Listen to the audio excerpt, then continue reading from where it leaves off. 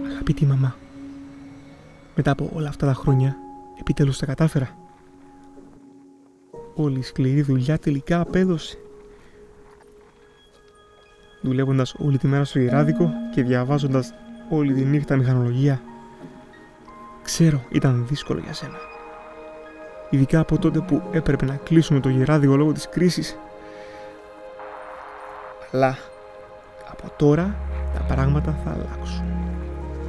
Τώρα που έφτασα με ασφάλεια στο πανέμορφο Brainport Eindhoven.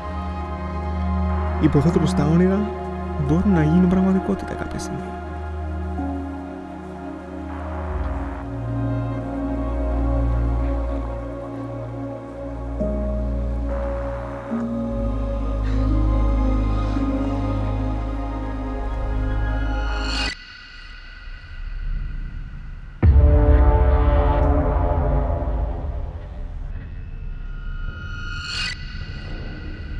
Dijsselbloem is insisting on yet another round of cuts see on what basis we can continue to suffocate the recovery in Greece. It's really shame on you, Mr. Dijsselbloem.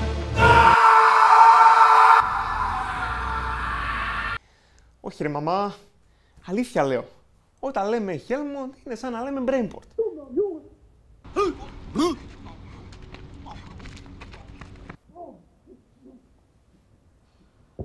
Μη σου πω και καλύτερα.